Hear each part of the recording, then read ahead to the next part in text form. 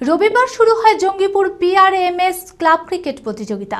প্রতিযোগিতার উদ্বোধনে উপস্থিত ছিলেন জঙ্গিপুরের পৌরপিতা মোজাহারুল ইসলাম, অতিরিক্ত পুলিশ সুপার, সমাজসেবী হুমায়ুন কবির সহ অন্যান্য ব্যক্তিবর্গ। মোট ষোলোটি দল অংশগ্রহণ করেছে এই প্রতিযোগিতায়। আগামী সাতাশে ডিসেম্বর অনুষ্ঠিত হবে ফাইনাল ম্যাচ।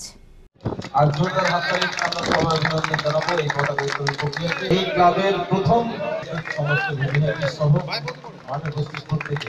রবিবার শুরু হলো জঙ্গিপুর পিআরএমএস ক্লাব ক্রিকেট প্রতিযোগিতা। প্রতিযোগিতার উদ্বোধনে উপস্থিত ছিলেন জঙ্গিপুরের পৌরপিতা মোজহারুল ইসলাম অতিরিক্ত পুলিশ সুপার সমাজসেবী হুমায়ুন কবির সহ অন্যান্য ব্যক্তিবর্গ। মোট ষোলোটি দল অংশগ্রহণ করবে এই প্রতিযোগিতায়। আগামী সাতাশে ডিসেম্বর অনুষ্ঠিত হবে ফাইনাল ম্যাচ।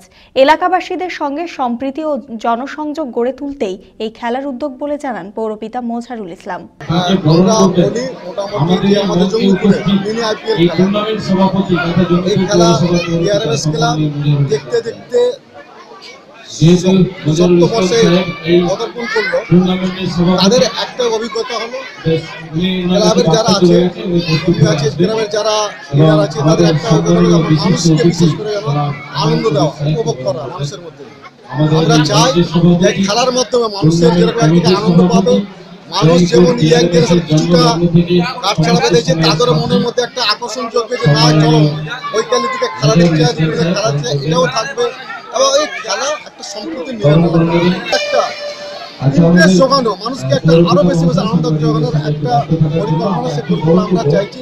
পিআরএমএস ক্লাবের পক্ষ থেকে এবং পিআরএমএস ক্লাবের একজন সাধারণ নাগরিক সেবায় সাধারণ সদস্য হিসাবে আমরা চাই মানুষকে এই ব্যবস্থার পক্ষ থেকে মানুষকে আনন্দ দিতে পারি, মানুষের সম্প্রীতি মিলন মেলা আরও বেশিভাবে গাঢ় করতে পারি, মানুষের মধ্যে ঐক্য আরও বেশিভাবে নিয়ে আসতে পারি। এই খেলাটা আমরা করতে চাই এবং এই বছর যা হচ্ছে আমরা আগামী বছর, আগামী বছরটা আরও নিয়েছি টার্মিশন নিয়েছি যে আমরা আগামী বছর আমরা আরও ভালোভাবে চেষ্টা করব। আপনারা দেখছেন TV twenty four Bangla. TV twenty four বাংলার সমস্ত খবরের আপডেট পেতে ইউটিউবে সাবস্ক্রাইব করুন টিভি টোয়েন্টি ফোর বাংলার চ্যানেলটিকে। এবং সাবস্ক্রাইবের পর অবশ্যই বেল আইকনটি একবার ক্লিক করুন। কমেন্টস আর শেয়ার করতে ভুলবেন না। TV twenty four Bangla.